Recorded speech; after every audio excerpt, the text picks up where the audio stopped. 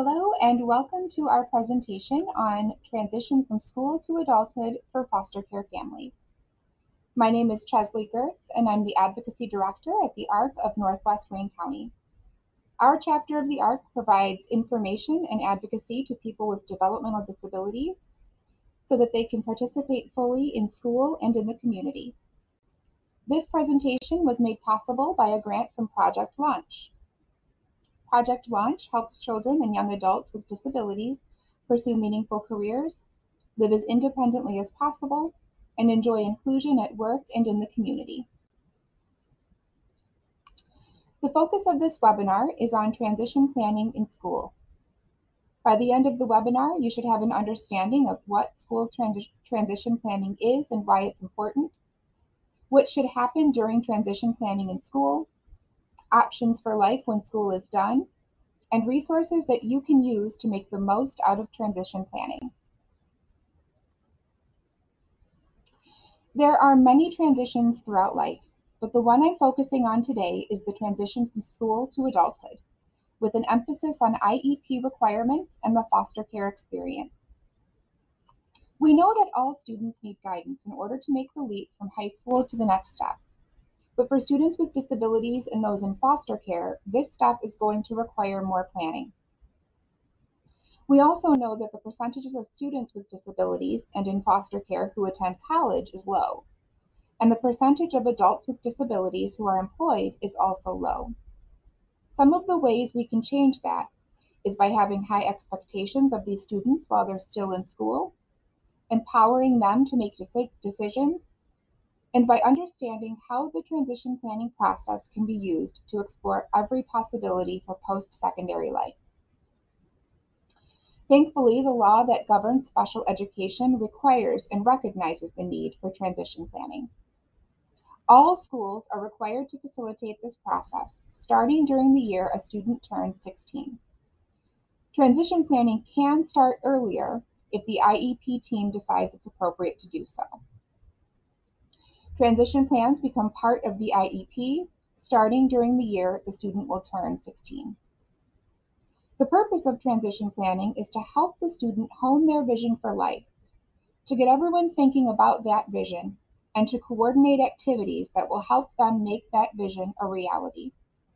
It should be totally focused on the student's strengths, preferences, and interests.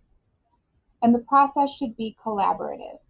That means that even though the school facilitates the process and handles the paperwork, students and their community of adults will be the ones actively involved in this process and working together to make it happen.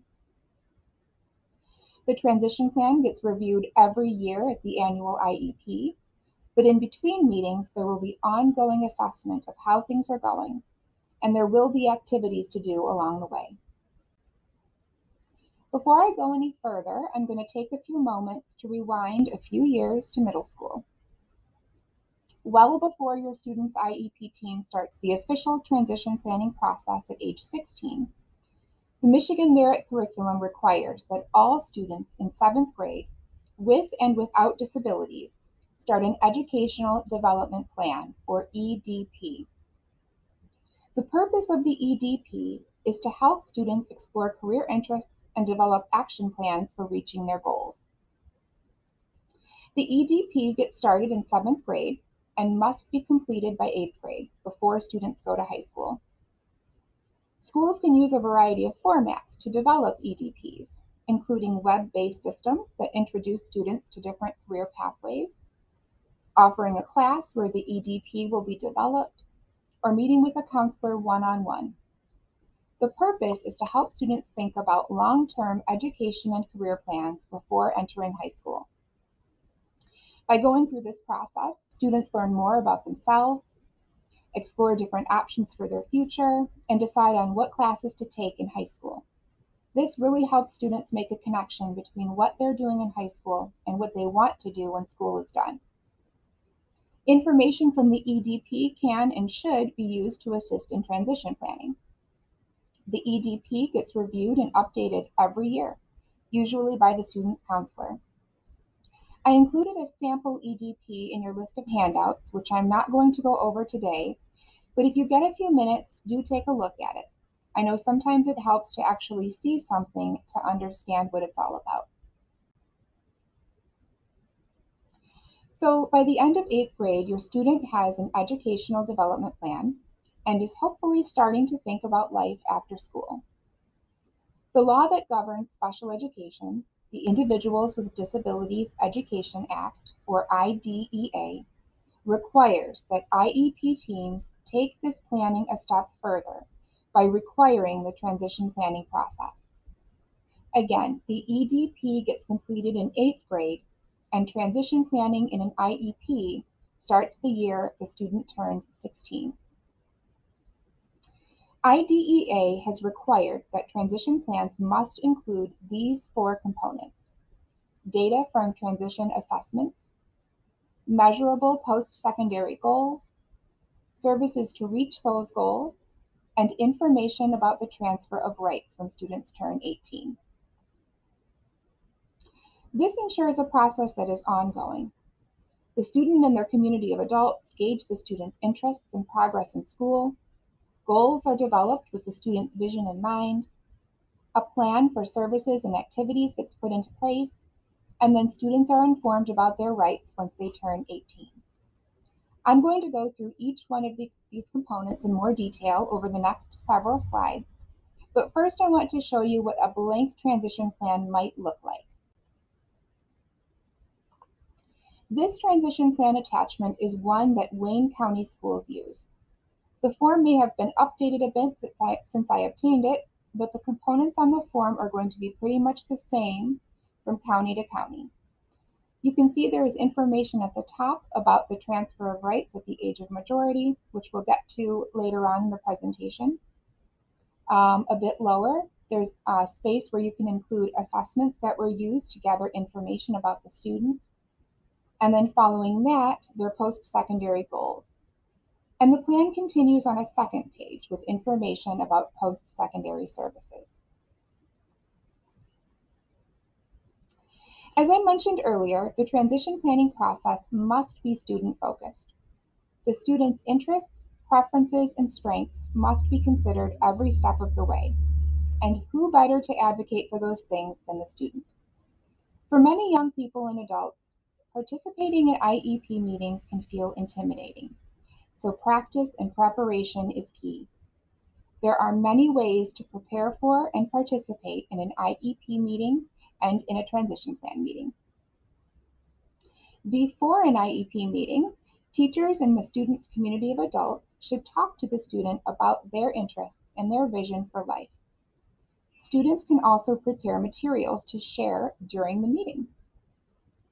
For example, I've been in meetings where students prepared PowerPoint presentations that they start, uh, excuse me, that they show at the start of the meeting to set the agenda and the tone. Other students can show pictures depicting their strengths and interests. I'm reminded of one meeting where a student who doesn't communicate verbally put together a picture book where she pasted in pictures of herself doing activities that she enjoys and wanted to keep doing, like playing baseball, playing games with her family, cooking a meal, and things like that. Students can also activate a switch to begin a slide presentation.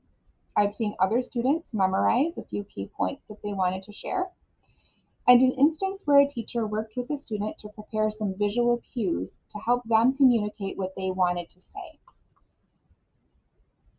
Students could be provided with choice cards to indicate what they agree or disagree with throughout the meeting that they can show um, whenever it's appropriate.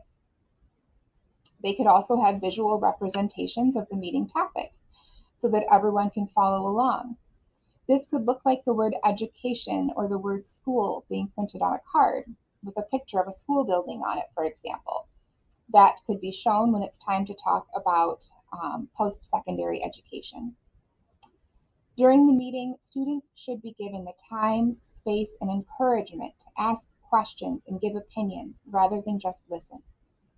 Students can also lead the meeting, which could look like having the student introduce each section of the IEP and transition plan.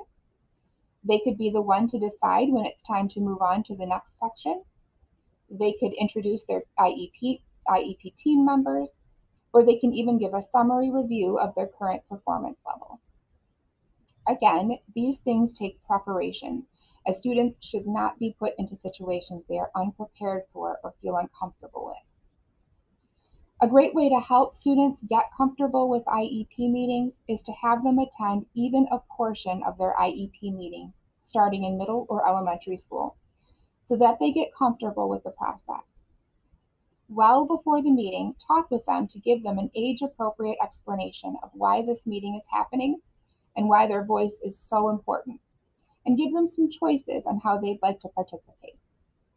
Try also to work with the teacher to decide when would be a good time for the student to attend the IEP meeting. Give students opportunities early on to make decisions concerning their education and encourage them to take the lead on age appropriate activities. If you get your student involved as a partner whose input is valuable to the process, you'll have a lot more success engaging the student. You'll be helping them to increase their confidence and teaching them life skills, and you'll increase the chances that this whole transition planning process will be successful. At the same time, it's important to understand that trauma can often result in executive function deficits, like issues with organization, planning out and starting on tasks, and problem solving. And so those deficits can create barriers to involvement in this process. You can help by working with teachers, therapists, social workers, and others to put some things in place to help compensate for those deficits, like breaking tasks down into basic, concrete and measurable steps. Using visuals like checklists to help a student understand what their role is or, or what activities they're going to be doing. And keep meetings short while also working with those same professionals to help students improve in those areas. Now I'm going to show you an example of a really simple tool that you can use to help your student prepare for their transition meeting. This worksheet is called a one-pager, and it was taken from a website called I'm Determined, which is included in the resource list for today's presentation. Students can complete this one-pager with information about what they feel their strengths, interests, preferences, and needs are, and then share it at the IEP meeting. The I'm website has some nice resources for youth, educators, and families or caring adults including this one pager, and some other visual tools to help prepare for transition planning. Another note about the transition planning process in general is to try to get other caring ad adults involved in the process. If you're a school staff person, invite the caseworker, foster parent, biological parent if appropriate, to the meeting, as well as a surrogate parent if one is involved. If you're the caseworker or foster parent, try to show up for the transition planning meetings if you can, because your support and involvement really can make a difference. And a quick note about surrogate parents. When necessary for some youth in foster care, a judge may have already appointed a surrogate parent to help make decisions on the student's behalf. But if there is no surrogate parent and no biological parent can be identified or located, the foster care caseworker or the school district itself can request the appointment of a surrogate parent. For more information about that, I've included the link to a guidance document on surrogate parents and special education in the list of handouts that Michigan Alliance for Families has provided. Now let's dive into those four required components of transition plans, the first of which is transition assessments. Transition assessments are really an ongoing process to gather information about the student's strengths, preferences, and interests as they relate to future living, learning, and working environments. This assessment process starts in middle school with that educational development plan and continues until the student exits school. The information that's gathered during transition assessment is then used to guide the transition planning and IEP process. Some people think of this step as answering the question, where are we now? What is the student interested in right now? What do they know about the careers or jobs they're interested in? And how are their work and study habits? Usually when we hear the word assessment, we think of something formal, like standardized tests. But transition assessments should include lots of things. Reviewing work samples to learn about academic strengths and most used accommodations having conversations with students and caring adults to get a clear idea of their vision for the future, or to help students figure out what their vision is. Observations of the student in work-related tasks to see are they on task, are they following directions, are they getting along with others. And then interest inventories and questionnaires can be used to help students narrow down their interests, to learn about their past work-related experiences, and to get an idea of what the student feels are their strengths and the areas that they want to grow or improve in. And then finally, standardized assessments can also be a component of transition assessment to help gather information about the student's interests and skills.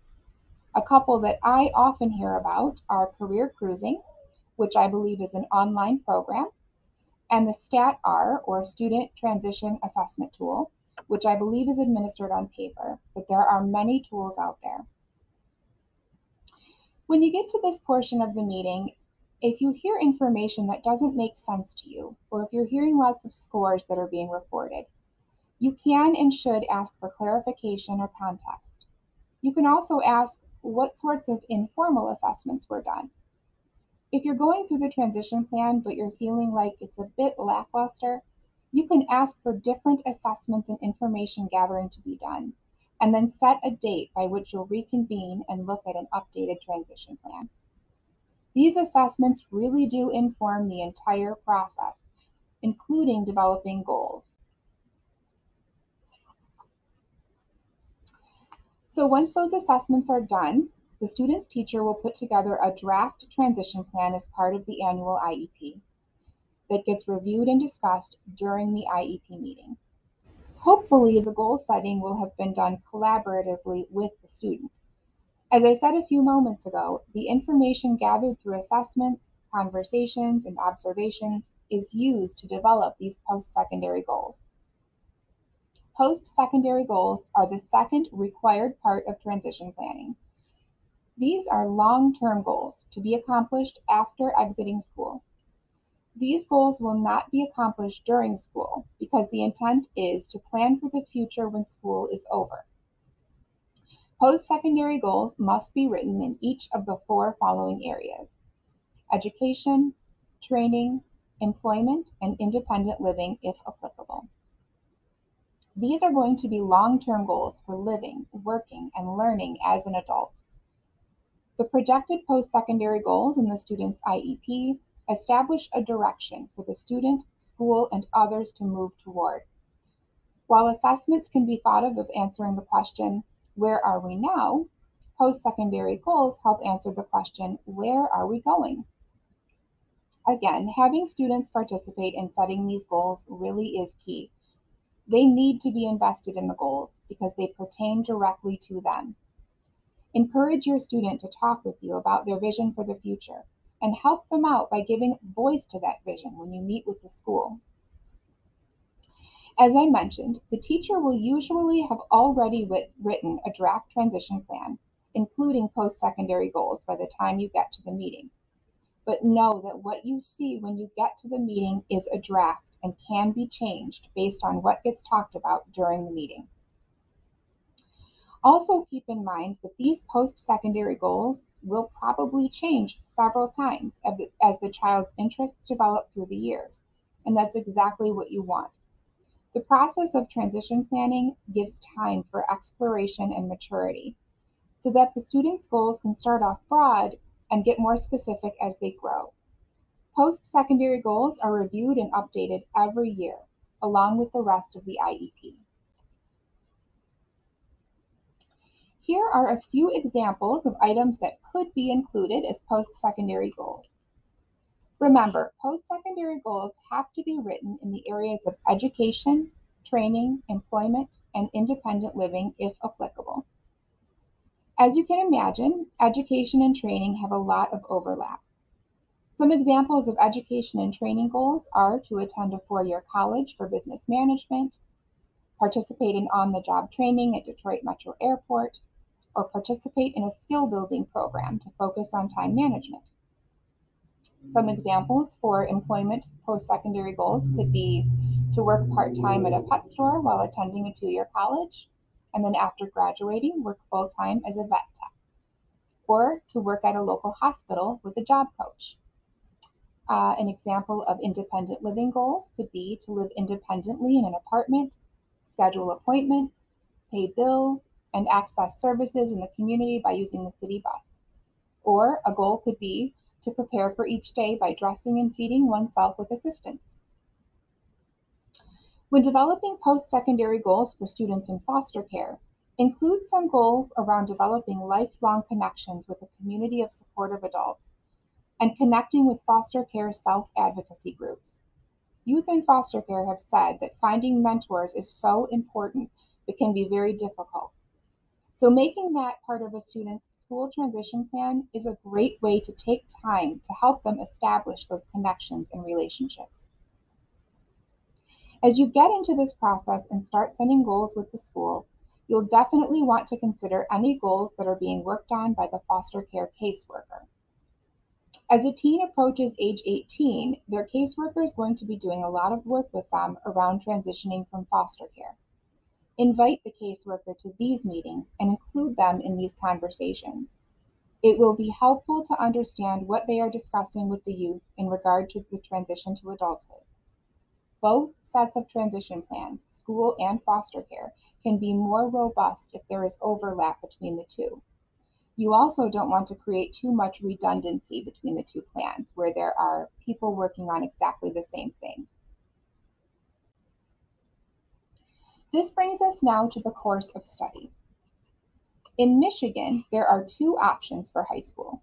That is exiting school with a diploma and exiting school without a diploma.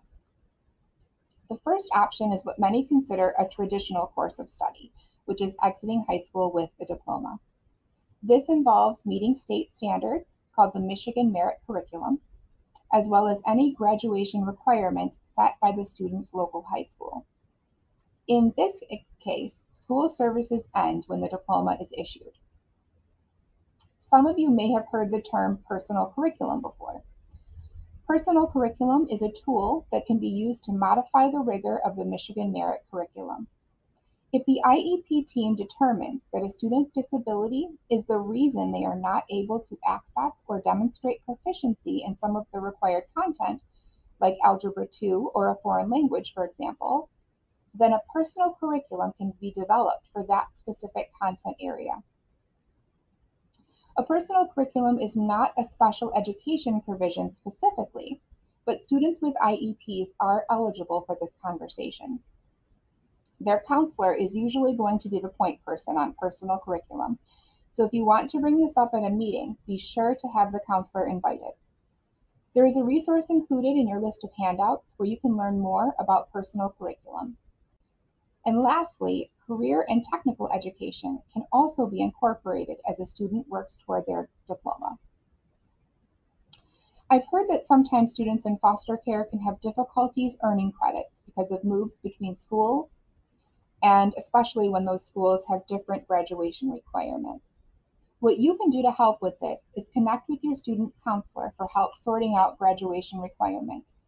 And if needed, Connect with the district's foster care liaison for help. Every school district has a foster care liaison that is supposed to help with these sorts of things. You can find that person by contacting your district's board office and asking for the foster care liaison. Another resource could be an education planner, which I'm going to talk about in just a few slides. The second option for course of study is to exit high school without a diploma. This is widely referred to for students with IEPs as getting a certificate of completion. Different from exiting with a diploma, there is no established statewide curriculum and no specific requirements for getting a certificate of completion. Instead, the student's post-secondary goals would drive their class selections and everything else. Students with IEPs who do not earn a diploma are eligible for school services in Michigan through age 26. Sometimes these services will be provided in a program for students over 18 that is run by the school district. And sometimes those programs have curriculums they use, which are aimed at students of transition age. Career and technical education can also be a part of the student's course of study, even if they are not earning a diploma. To decide which course of study is going to be the best option, you'll want to have conversations with the student, the school, and their community of adults, and talk about things like accommodations that could help the student earn credit. Talk about the possibility of using the personal curriculum, and talk about career and technical education so that you make sure you're covering all of your options before a decision is made. All right, transition services are the third required component of transition planning. Transition services are really a set of activities which help move the student toward achieving their post-secondary goals. It's important to know that many of the transition services and activities stated in your student's transition plan are going to take place outside of school, at home and in the community. Transition services need to be identified under the same four core areas that post-secondary goals address: employment, education, training, and independent living if applicable.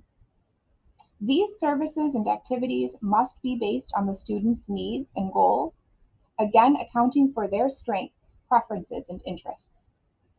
Transition services should include the activities that the student and their community of adults will complete. The community of adults can include the special and general education teachers, related school service providers, counselors, other school personnel, outside agencies, foster parents, family members, community members, and others. Here are some examples of transition services under each of those four core areas. Tra uh, for training, some examples would be study skills training, social skills training, or practice requesting accommodations. Under education, transition services could include instruction and modeling and how to advocate for oneself in class, could include getting some direct instruction in math, or taking a college tour. For employment, some transition services could include learning to read and follow a daily visual schedule, getting some community work experience, or getting a referral to vocational rehabilitation, which I'll talk about on the next slide.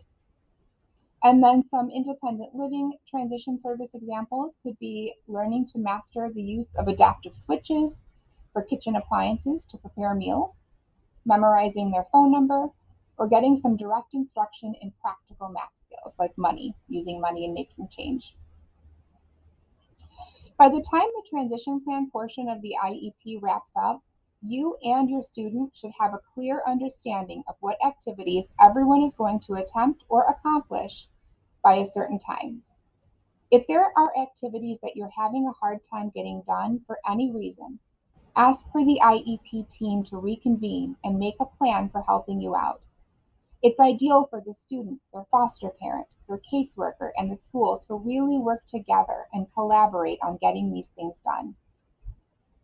If you need help or if you have questions, reach out to the teacher and let them know. If you feel like your IEP team needs some support with transition planning, reach out to your district special education administrator. And this isn't to get anyone in trouble, but instead, many times that person can offer support to you and to the school team with creative thinking on how to plan and get things done. And oftentimes, that special education administrator has knowledge of available resources throughout their district. I've included a document in your list of handouts for this presentation that gives some great examples of transition services to help get you thinking about your student. Okay, so Michigan Rehabilitation Services, or MRS, is part of the Michigan Department of Health and Human Services. This organization provides employment and education related services and training to help teens and adults with disabilities find and keep employment. As I mentioned on the last slide in the example, a referral to Michigan Rehabilitation Services could be a good transition service or activity to engage in. I've given Michigan Rehabilitation Services its own slide because they can be a great resource for college and career planning, and connecting with this organization would be a good transition service to include in the plan. Some things that Michigan Rehabilitation Services can help students with are exploring their interests and talents, and seeing how those things could lead to a job, learning about different jobs, figuring out their career goals, helping with assistive technology and accommodations on a job, learning how to request accommodations on a job, and help actually getting and maintaining employment. Michigan Rehabilitation Services also has a program targeted to younger students, ages 14 and up, called Pre-Employment Transition Services, or PRE-ETS for short. Through the PRE-ETS program, MRS can help students learn about different jobs, consider which jobs interest them, and learn what employment type skills they need to gain or improve on to be successful. The PRE-ETS program can also provide work-based learning um, experiences for students. They can provide counseling for students on options for continued education and training after high school, and a lot of other things. Something to be aware of is that consent is required for the PRE-ETS program since students in this program would be under 18. You can talk with your student's caseworker for help understanding who the appropriate person would be to give consent for this program. And then to connect with Michigan Rehabilitation Services, you can either ask the school to invite someone from the organization to the IEP meeting, or you can find your local office and connect with them yourself. Next, I've included a list of other programs and resources specific to students in foster care that are worth exploring as you talk about transition services with the school. Since I am not a foster care specialist, I'm going to give you a brief overview of each one of these resources and then encourage you to visit the websites and talk with your student's foster care caseworker to learn more. Links to all of these resources are included in your list of handouts for today. First on our list is education planners. Education planners are typically for youth ages 14 to 21, and they have a few roles. They can provide direct assistance to youth in foster care, act as a liaison between the child welfare and education systems, help with school enrollment and transferring records, provide guidance on special education matters, and more. They might also be a good resource when you're trying to figure out who is responsible for signing special education documents. The link to this resource in your list of handouts includes the names and contact information for all education planners in the state. Unfortunately, there is not an education planner in every county, but for the counties who do not have one, there are Department of Health and Human Services points of contact that can fill this role. I included a link to those points of contact in your resource list as well. To get connected with an education planner, talk with your student's caseworker and ask them to make a referral, or you can contact the education planner or point of contact directly. Next, the Young Adult Voluntary Foster Care Program, or YAVFC. This is a way to extend foster care to age 21. Young adults in this program can benefit by having an extension of their foster care payments, caseworker support, counseling services, healthcare coverage, and more time to learn independent living skills. Foster parents or foster youth can ask their caseworker to apply for this program, or you can contact your local Department of Health and Human Services office and ask for the Young Adult Voluntary Foster Care Liaison. Next, the Education and Training Voucher Program provides funds to meet the education and training needs of youth aging out of foster care. This program provides vouchers of, of up to $5,000 a year to eligible youth attending college and vocational programs up to age 26. Vouchers can be used toward the cost of tuition, books, room and board, a computer, and other items pertaining to education and training. Directions for applying for these vouchers can be found at the link in the list of handouts. Next, Youth in Transition Program funds can be used to assist with purchasing goods and services to help youth in foster care become self-sufficient. Youth in Transition funds can be used for many, many things, including, but not limited to, tutoring, cap and gown, prom dress or tux, um, ACT or SAT fees, paying for the GED exam, paying for driver's training classes, bus cards, getting a uniform for a job, um, car insurance, repairs, and a lot more.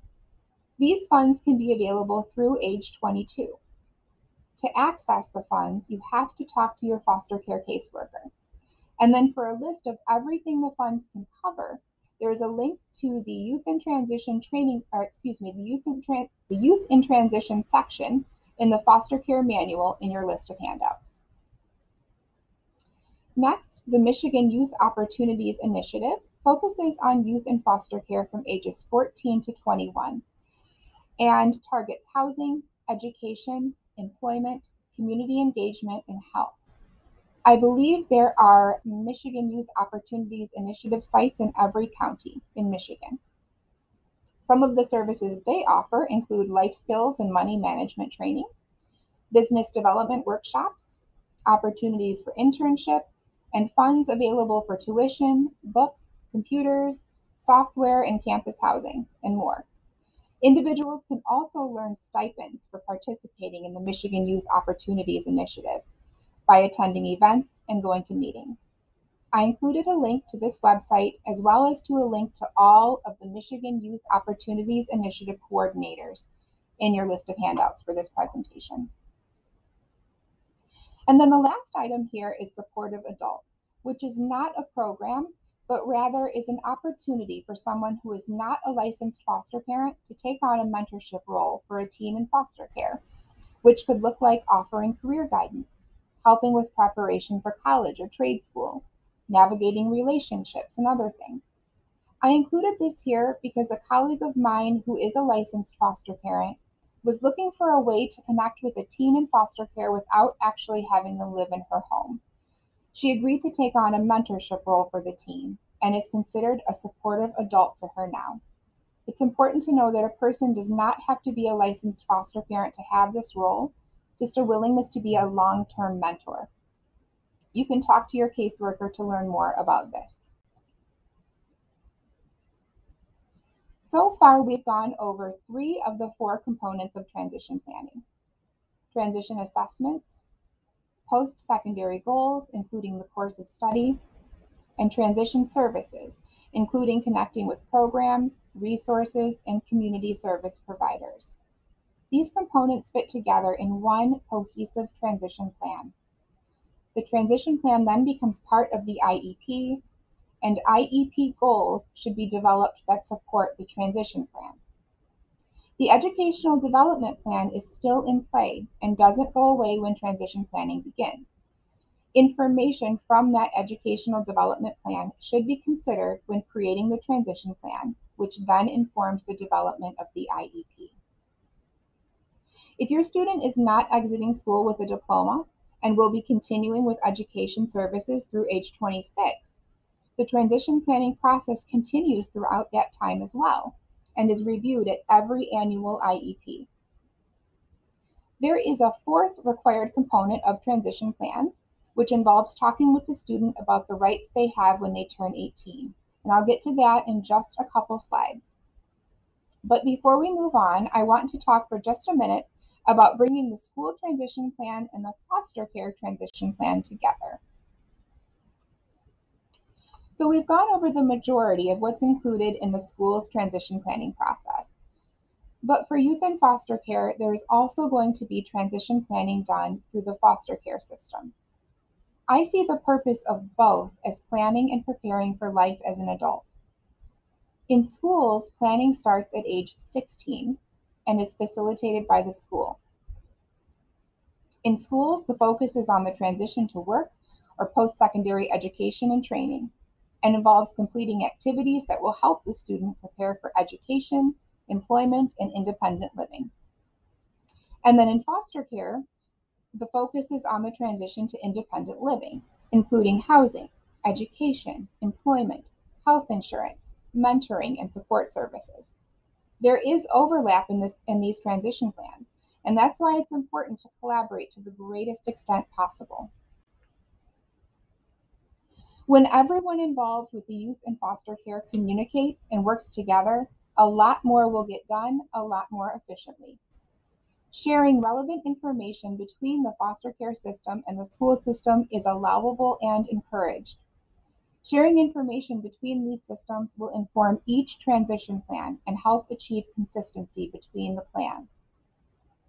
It would be ideal to review both plans at the IEP transition plan meeting to strengthen the activities and to make sure you're not repeating tasks or doubling up on things accidentally. Adults should also communicate between meetings to strengthen the coordination of activities, services, and plans. Sometimes that looks like including multiple people on an email or on a conference call. And then we talked about education planners earlier. Find your foster care education planner and find out who your contact is for special education services within the school district and work together to make sure everyone is staying student focused. These two systems operate independently, but the student is at the center of both systems. The final required component of transition planning in school is including information about what's called the transfer of rights at the age of majority. On or before a student's 17th birthday, schools have to tell students that when they turn 18, they are an adult and have certain rights. While their parents or other adults were in charge of making decisions before, turning 18 means that other adults do not automatically have that authority anymore. All students, regardless of their level of disability, have to be informed of this transfer of rights, and information should be delivered in a way the student can understand. I wanted to highlight here a few rights that transfer to students when they turn 18. Students 18 and over have the right to attend their own IEP meeting. They have the right to give permission for testing and evaluations, and on the flip side of that, they have the right to withhold permission for testing and evaluations. When students are 18, they have the right to approve changes to their IEP or to not approve changes to their IEP. They have the right to access their school records, and then they have the right to disagree with the IEP team and to get information about how to solve any disputes they might have with their IEP. It's also appropriate around this age for students to get information about their rights when it comes to getting help with decision making. Oftentimes people think that when a person with a disability turns 18, that it's necessary to appoint a guardian to make decisions for them. But that is not always true. Every person can make choices and indicate their preferences in some way and have the right to make decisions about their life no matter what their disability is. Guardianship involves taking those rights away from the individual and giving them to someone else. So I want to share some other options for consideration. Before a student in foster care turns 18, the foster care caseworker will share information with them about selecting a healthcare power of attorney or a healthcare proxy. So in other words, appointing someone to help them make mental excuse me, help them make healthcare decisions or to make healthcare decisions if they are not able to do so. It's important to know that people with developmental disabilities can also appoint a power of attorney, no matter the type of their disability. They do not need to pass a competency exam or anything like that in order to appoint a power of attorney. While in foster care, if the youth decides to establish a durable power of attorney for health care, their caseworker will help them get the right forms and talk to them about the steps needed to establish that power of attorney. I've listed some other alternatives to guardianship here, including supported decision making agreements, which are an informal way of documenting who the individual would like to help them make decisions. And by informal, I mean that supported decision making agreements are not legal documents here in Michigan, but rather are a way for everyone in the individual's life to understand their role in helping them make decisions. Uh, another option to consider is power of attorney, which on the other hand is a legal document where the individual themselves designates someone to help them make decisions about their finances, school, service providers, and other things. With power of attorney, the individual still has the right to make decisions, but this document allows for someone they've identified to help them make those decisions. And then another option for decision making is representative payee. This option only applies to Social Security benefits. The person who is appointed representative payee is allowed to help the individual manage their SSI or Social Security funds. So how can we use the school transition planning process to prepare students for making their own decisions as adults and prepare them for that transfer of rights? It is crucial for students with disabilities and youth in foster care to be directly involved in meetings, conversations, and transition activities so they can develop decision making and self determination skills. Self determination simply means gaining control over your own life. Learning to set your own goals, being involved in making decisions about your life, and advocating for yourself are skills that will serve students for all of their adult lives. During the transition planning process, include students in conversations and meetings. Look for opportunities where the student can learn and practice these skills.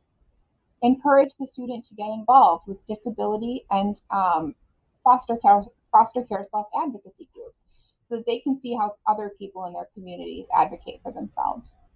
Consider including the development of self determination skills and connecting with self advocacy groups as school transition goals and activities. In post secondary education, like college and trade school, there is no requirement to find students with disabilities and put accommodations in place on their behalf. Students will only get accommodations and services when they self identify as a per- person with a disability and ask for accommodations and then advocate for receiving those accommodations. Similarly, when it comes to services for adults with disabilities in the community, people have to seek out those services on their own. At work, the discussion of mutually agreed upon workplace accommodations starts only when an employee discloses their disability and asks for accommodations. When it comes to youth in foster care with disabilities, it's really important to build these self determination skills throughout their school experience so they feel confident advocating for themselves as adults.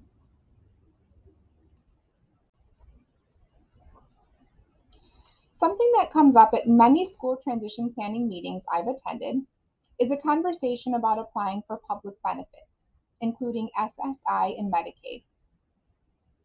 SSI, or Supplemental Security Income, is a needs based program that individuals with disabilities may be eligible for. SSI takes into consideration a person's income and assets first, and then their disability status when determining eligibility. However, for youth transitioning from foster care, there is no income or asset test to qualify for SSI and Medicaid. Their foster care, foster care status is enough to qualify them.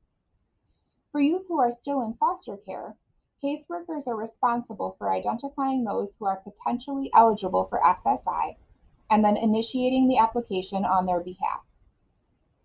If a person is under 18 when they become eligible for SSI, that eligibility gets redetermined at age 18.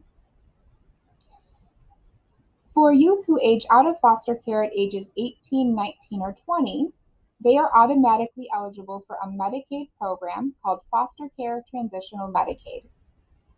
Again, there is no income or asset test for foster care transitional Medicaid because their foster care status is enough to qualify them.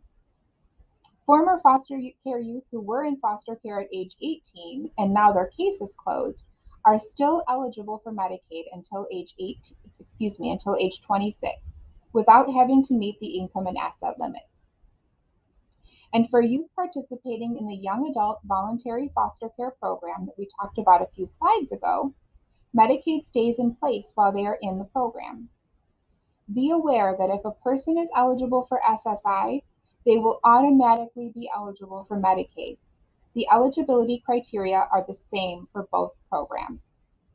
Medicaid is important not only for healthcare, but also because most of the services available for adults with developmental disabilities are paid for by Medicaid. Let's talk about those services next.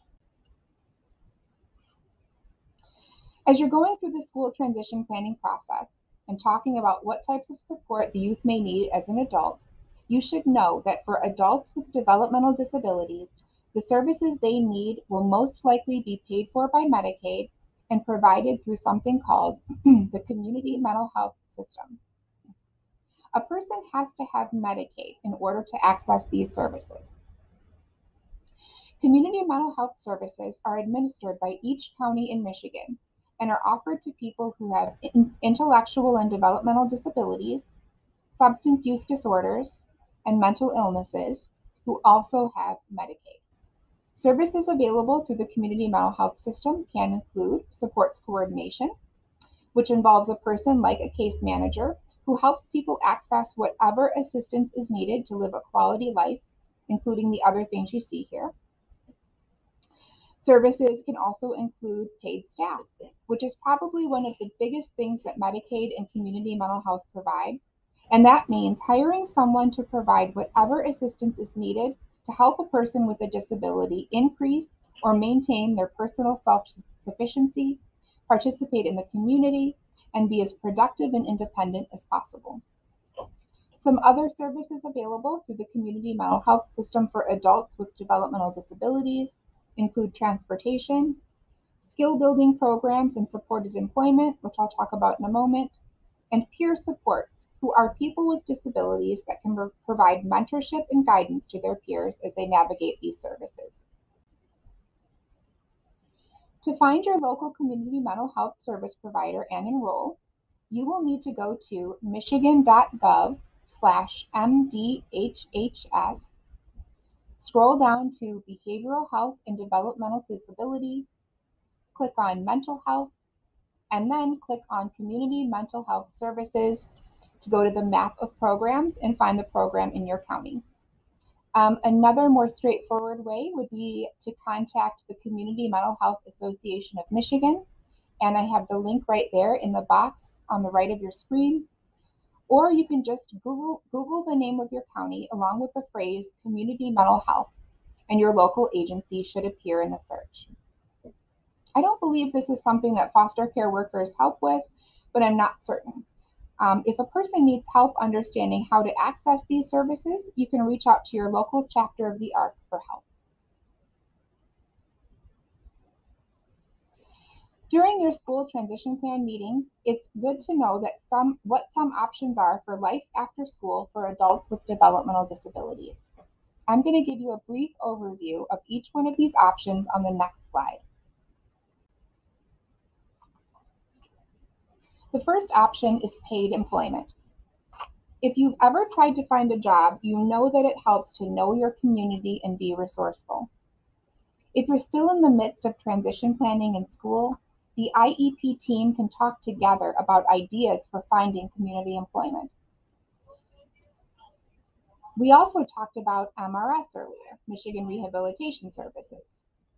MRS can help not only with developing employment skills, but they can also help with finding paid employment. They often work with businesses in the community to develop talent, and they can match employees to jobs. Next, supported employment is a model of employment that provides people with disabilities the support they need to succeed in a competitive work environment. Support on the job can be provided continuously, only as needed, or can start off strong and then diminish over time. It can also look like job development, which means helping to develop a job specifically for someone with a specific skill set. Supported employment can also include job coaching, a job coach is someone to be at your job with you to help you learn the job or help with tasks that you need assistance with. Supported employment is something that takes place in the community at a paying job, and oftentimes these programs can provide transportation for a person to and from work. Next are skill building programs, sometimes called day programs. Both supported employment and skill building programs are available through the community mental health system and are paid for by Medicaid. Skill building programs are focused on skill development rather than immediate employment, like working on timely attendance, following directions, completing tasks, staying safe on the job, and then problem solving, for example. Other ways to fill your time after exiting school include participating in the community, learning to socialize and build relationships, volunteerism, taking part in recreational activities. The paid staff I talked about earlier that comes through the community mental health system can be used to facilitate these activities and to help ensure a person's health and safety while they're doing them. Many people actually do a combination of these four items. The most important thing I want you to remember from this slide is that there are options and choices for life after school, no matter what a person's disability is or what type of assistance they need. And the biggest takeaway from this presentation is that transition planning in school is designed to provide opportunities for conversation and support during school so that the student will have a plan for life after school and the assistance necessary to achieve their goals. The work that gets done during transition planning will only help make things smoother as a person goes into adulthood. Benefits like SSI and Medicaid help pay for a quality life, and community mental health services are available to provide the assistance needed to live that life. Do whatever you can to help your student imagine a vision for their life. Set high expectations and give them opportunities for leadership and control throughout the transition planning process no matter what their disability is. Take their vision and build the transition plan with it in mind from the ground up, always keeping an eye on the end goal. Now that we've reached the end of the presentation, I want to talk about a few resources that I've included on this slide. An entire list of the resources I shared throughout this presentation is available on the Michigan Alliance for Families website. Some of these I didn't touch on, but I included them on my list because they're great resources. Of course, the Michigan Alliance for Families website is a great place to find not only information specific to youth in foster care, but also tons of information about the entire special education process. I'm Determined is the website I mentioned earlier with the one pagers and other resources for pre preparing for transition planning.